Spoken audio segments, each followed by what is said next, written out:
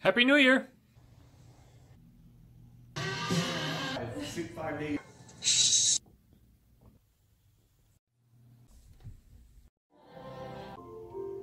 Make ornaments. I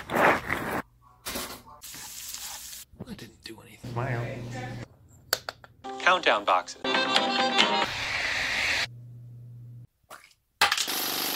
So just get right into things.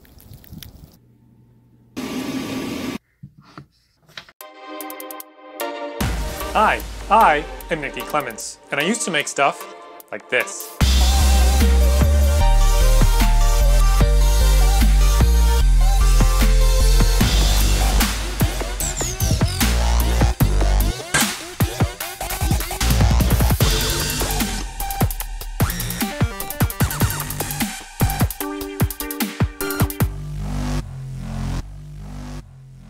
Lisa had asked me to make a plaque for a leader in her falconry organization.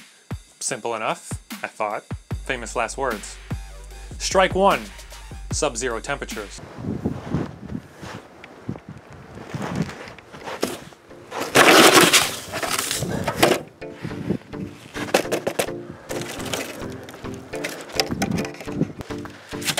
For Christmas, Lisa got me a box of wood, a great gift idea, and one we were both excited about. From the Amazon listing, it looked like a cool variety. Cherry, walnut, even some purple heart. What arrived was... firewood, for lack of a better term. We were both pretty disappointed. But there were a few scraps in there that seemed plaque-worthy. I did a few tests and I figured I would either use my laser or do a tattoo transfer. They were both good choices, so the first step was to clean up the board. That's a little high.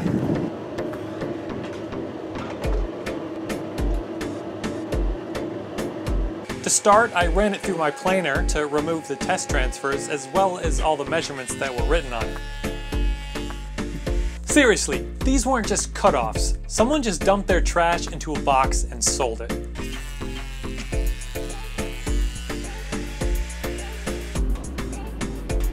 Then to the table saw to square up the edges.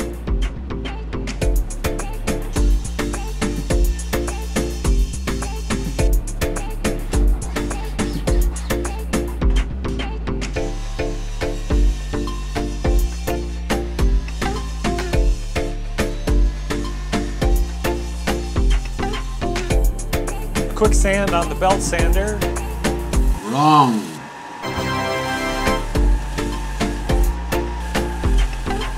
and you have yourself a halfway decent piece of wood. Now, what turns a rectangular block of wood into a plaque? A routered edge, of course. Now I have very little experience with routers. I didn't use it much in my shop class, which was over a decade ago anyway.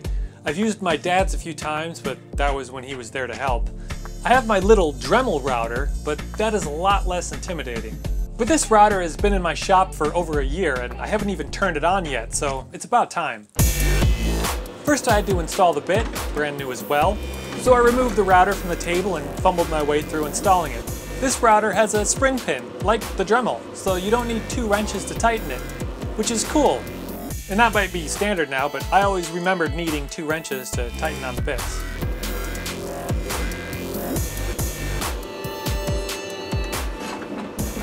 Anyway, I got the bit installed, put it back into the table, and turned it on. It was slow to start, most likely due to the extreme cold, but it got up to speed quickly enough. I ran a few scrap boards through it to introduce myself. It seemed to work well enough. So I tried it on my main board.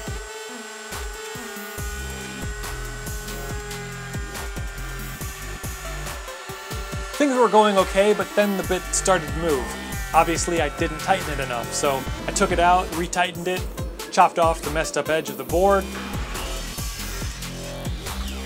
and then tried again.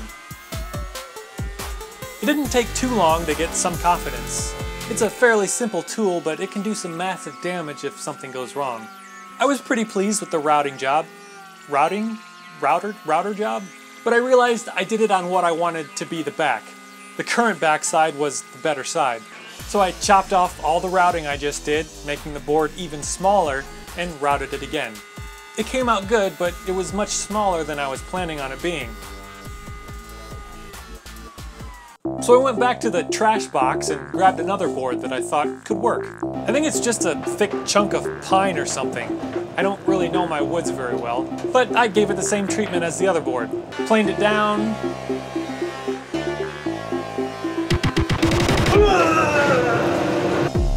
squared off the edges, and gave it a quick sand. With confidence this time, I proceeded to router the edge.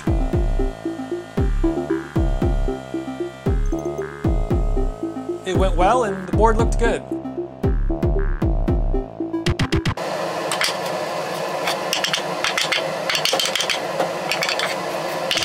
It was an interesting piece for sure. I think it was pretty saturated with sap.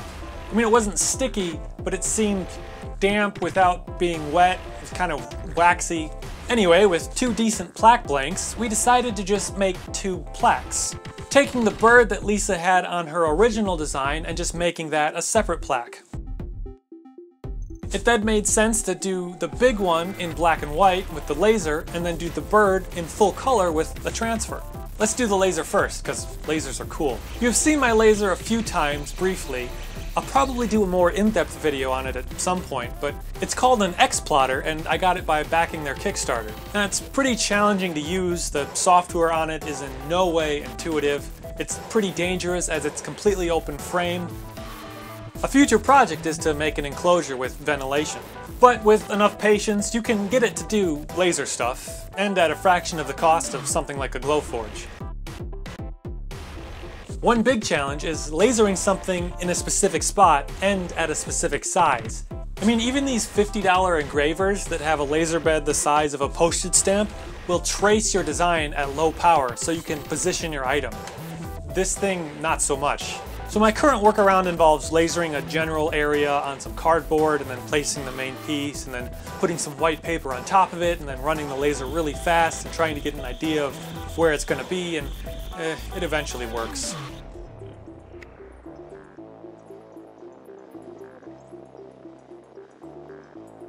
But with everything set up and the design traced properly, it's uh, laser time. It's laser time!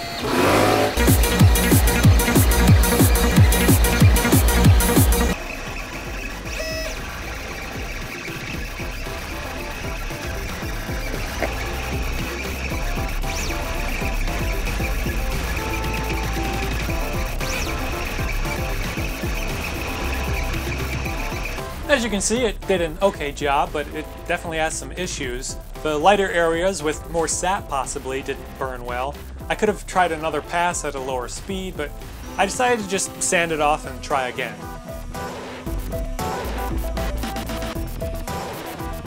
You can see here just how quickly the sandpaper gets gunked up with the sap residue.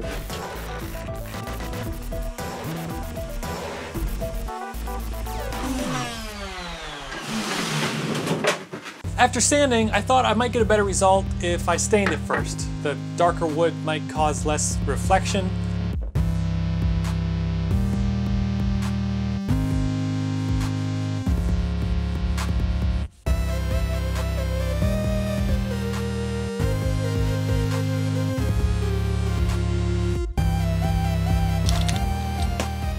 But also, lasering the stain probably isn't a great idea either or the shellac. But safety to the wind, I lasered it again at a lower speed.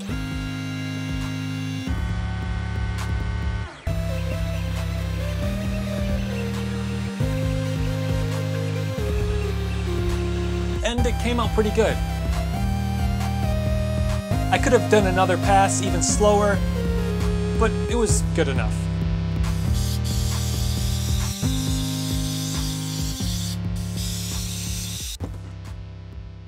On to plaque 2. This one should be super easy compared to the laser.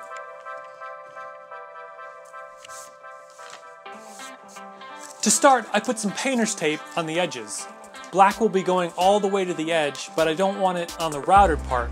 I think trying to cut the transfer to the exact size and then getting it placed perfectly would be pretty hard to impossible, so this seemed like the better method.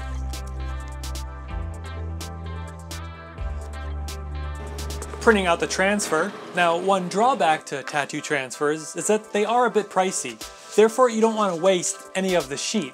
So if your design doesn't fill a full page, you want to fill it with other projects or just anything over nothing, completely wasting the extra. So I just filled up the extra space with some NDC logos.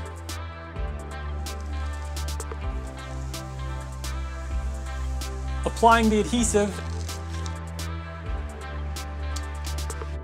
and cutting out the main transfer.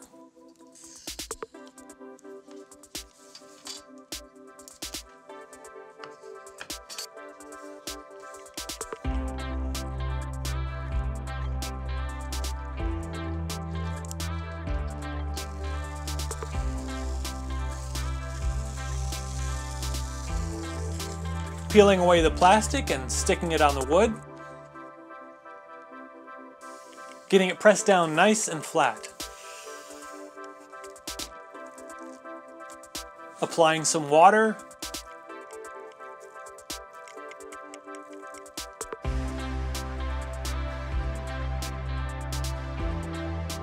Peeling away the paper. That's pretty satisfying. Now to carefully cut away the flashing.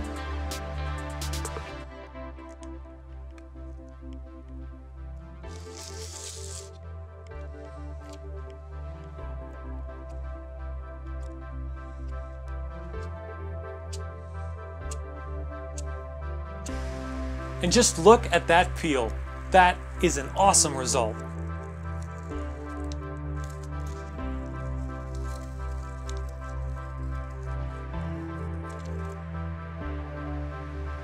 With the painter's tape off, it looks really good, and that was super easy. A little too easy, wasn't it? Yeah, that was attempt two. The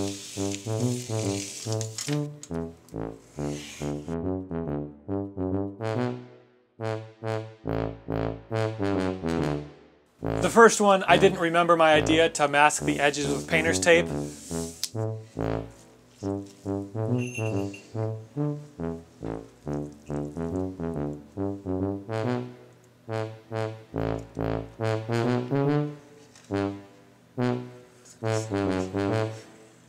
Tried sanding it off, which was promising at first.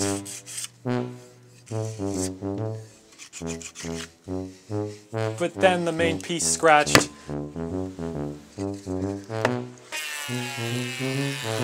So I just tried again. But it's okay, as the final result was awesome.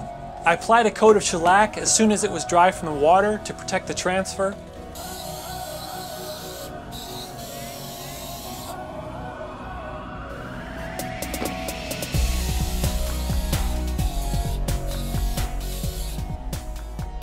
One last thing to do, apply a way to hang it.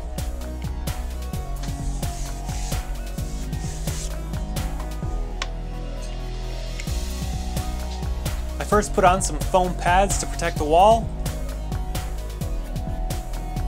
And then I'm just using some standard sawtooth hangers for the hardware. No keyhole fasteners today. Keyhole fasteners.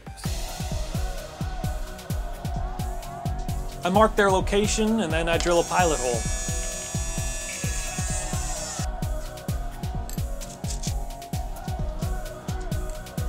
Actually have a cool magnetic nail holder somewhere, but a pair of pliers works. Pound in the nail with a tack hammer.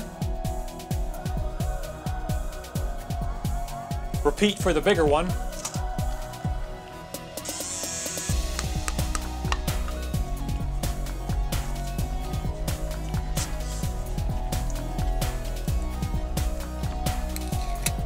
And adding a David Arts logo.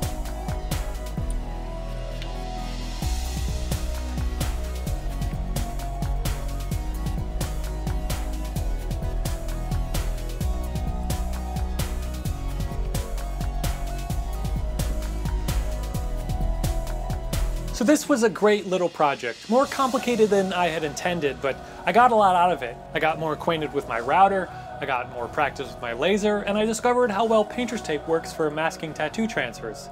In sub-zero temperatures no less, with no frostbite.